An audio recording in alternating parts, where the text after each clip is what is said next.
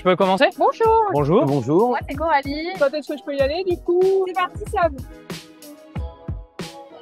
La santé, pour moi, ça m'évoque euh, d'abord une hygiène de vie, euh, une alimentation euh, saine. C'est pour être en accord avec euh, son corps et son esprit. La santé, c'est un bien-être, c'est de ne pas souffrir, euh, c'est de manger sainement, de- d'avoir des, activi- des activités physiques. La santé, c'est pour moi important euh, pratiquer une activité sportive. Donc par exemple, moi je fais du rugby, euh, je fais de la musculation.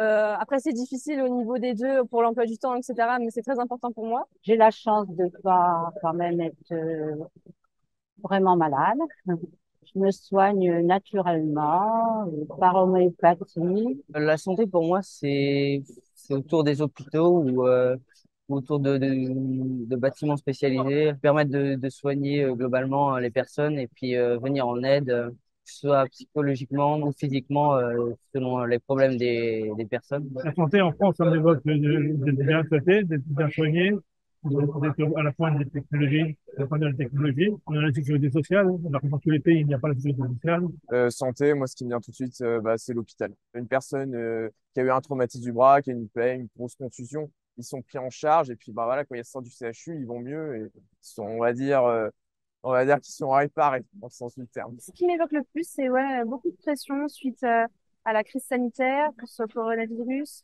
ou, ou même euh, en général les hôpitaux sur, surchargés, euh, les urgences également. C'est vraiment cette pression qu'il y a au quotidien pour, pour les gens dans ce milieu. On voit bien que l'hôpital est en difficulté. Il y en a plein qui sont en burn-out, enfin, les amis qui vont changer de service, hein, des situations dramatiques. Donc ça, ça interpelle quand même beaucoup chaque citoyen parce qu'on est tous amenés à aller un jour ou l'autre à l'hôpital. quand on voit euh, des personnes euh, d'un certain âge euh, qui ont besoin de soins et qui ont besoin d'avoir six mois d'attente pour aller voir un cardiologue, six mois pour voir un dentiste quand on a une rage de dents, six mois après, la rage de dents, elle est finie. À mon sens, on n'a pas la chance aujourd'hui d'avoir dans le monde euh, un accès à la santé identique. Et euh, on a la chance en France, encore aujourd'hui, d'avoir accès à la santé, euh, je dirais, peut-être pas équitablement, mais plus équitablement qu'ailleurs. L'offre santé est peut-être trop centralisée à Paris, avec l'hôpital Necker qui est très connu. Et tous les centres, c'est sûr que les, les plus grands spécialistes sont plus à Paris.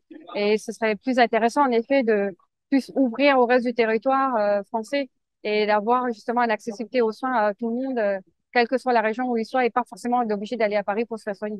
La santé, euh, pour moi, ça reste un bien public qui doit être facile d'accès à tous les citoyens. On parle des déserts médicaux en milieu rural, mais même en milieu urbain, il y a des quartiers dans certaines grandes villes où il y a des problèmes d'accès aux soins euh, pour euh, des milliers de personnes. Il faut que ça fasse partie aujourd'hui des problématiques principales dans euh, l'aménagement du territoire en France.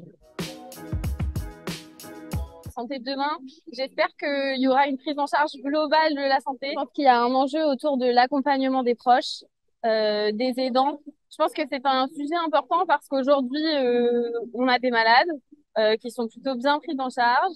On a aussi des proches qui sont moins bien accompagnés et qui pourraient être les malades de demain. La santé de demain, je pense qu'elle est forcément amenée à évoluer euh, de- du fait des enjeux euh, écologiques. On voit aujourd'hui avec euh, les microparticules des problématiques d'allergie, et problématiques cancérologiques. Là, c'est des choses qui se passent aujourd'hui et demain, c'est des phénomènes qui risquent de s'accélérer. Avec euh, la pollution, tout ce qui se passe, euh, je pense que ça peut nous... C'est une, une bombe à retardement pour notre santé. Ça va multiplier les maladies. Et euh, comment est-ce qu'on va pouvoir traiter tout ça? Oui, il va falloir en arriver au traitement. Eh ben, je ne sais pas euh, comment est-ce que ça va pouvoir se faire? La santé à l'avenir, ça va être quelque chose qui va être. euh, il y aura une grande place de, numérique. Il va falloir qu'on, il faut que la santé aussi se modernise. Donc, il faut que la santé, elle intègre toutes les innovations de la société. Donc, aussi bien d'un point de vue technologique, euh, individuel, recherche médicale. Avec le temps, il y a des nouvelles innovations euh, avec euh, de la technologie ou, ou même au sein des de nouveaux traitements. C'est important parce que ça permettrait de de, de, les- de dégager un peu plus de temps pour les, les soignants pour qu'ils qu'ils aident euh, ils aident les personnes et, le, et, et passent plus de temps avec eux. Demain, bah, j'espère que Bah, peut-être qu'il y aura des innovations euh, avec l'intelligence artificielle. On sera peut-être complètement robotisé. Est-ce un bien, est-ce un mal? J'en sais rien. J'ai des enfants qui sont qui eux croient en tout ça. Moi, je suis un peu dubitative. Je pense qu'il faut vraiment qu'on capitalise en fait sur la, les nouvelles technologies et pas que les nouvelles technologies remplacent l'humain. Parce que je pense qu'il y a, dans la santé, pour moi, c'est c'est l'un des axes principaux, c'est vraiment cette, l'humanité qu'on a, c'est le contact humain, c'est le relationnel. Et je pense qu'il faut qu'on garde ça, mais qu'on ait aussi à côté les nouvelles technologies pour pallier, enfin, toutes les, les limites, je dirais, de la santé qu'on a aujourd'hui. Donner un maximum de moyens possibles aux gens qui sont euh, dans la recherche et euh, dans l'évolution de la médecine, parce qu'on se rend compte qu'aujourd'hui, plus on débloque de moyens pour euh, faire évoluer ces choses-là, plus on sauve de vie et plus on augmente l'espérance de vie. Et pour moi, ça y joue vraiment beaucoup. Le plus décisif pour la santé de demain, ce serait peut-être les recherches pour euh, soigner de, des maladies plus compliquées à soigner, comme par exemple Alzheimer ou euh, le cancer. Bon, le curatif, c'est bien, mais moi, je crois plus à la prévention.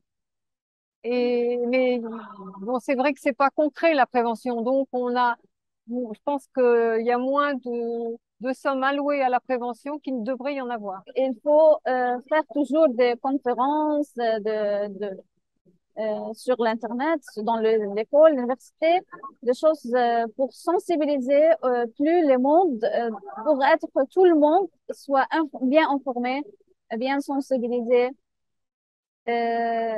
Donc, la, santé devient accessible pour tout le monde. Très court terme, je pense que la priorité en santé en France et à l'international, ça va être les enjeux de prévention et qui passent surtout et principalement par la communication. Et c'est à notre portée à tous en tant que citoyens, mais c'est aussi à la portée de, des institutions, c'est à la portée des entreprises.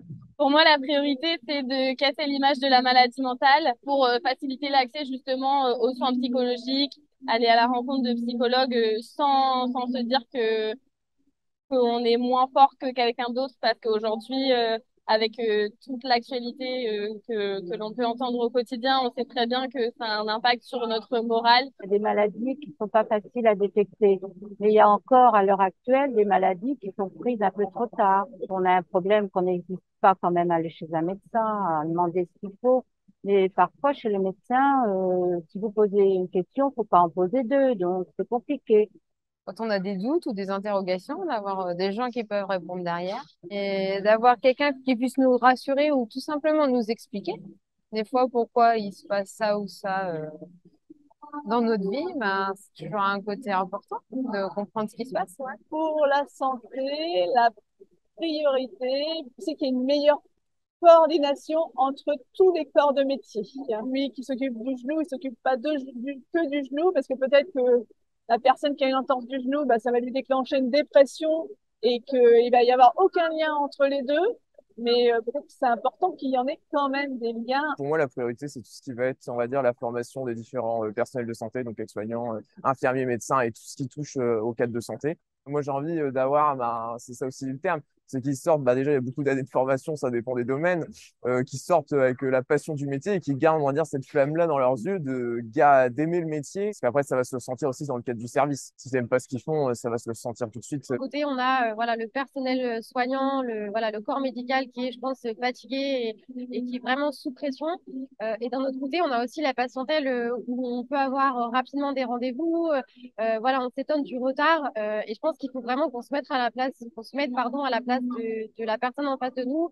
euh, et puis bah qu'on qu'on fasse preuve de bienveillance et puis de patience parce que je pense que tout le monde est un petit peu euh, à cran en ce moment. Je pense qu'il faut mettre la santé au cœur des politiques publiques parce qu'aujourd'hui, on l'a fait dans d'autres domaines, mais que la santé, euh, ça a été un peu le parent pauvre et on l'a peut-être pas fait assez avant. On, on s'en est rendu compte avec le Covid notamment. Mais euh, je pense qu'on a fait euh, comme ça des grandes réunions sur l'écologie, par exemple. et je pense que sur la santé, il faut vraiment adopter une même démarche. Et je pense que quand on donne la parole aux gens et que, que l'initiative vient d'eux, c'est beaucoup plus facile de de trouver des solutions, le collectif est toujours plus fort que l'individuel.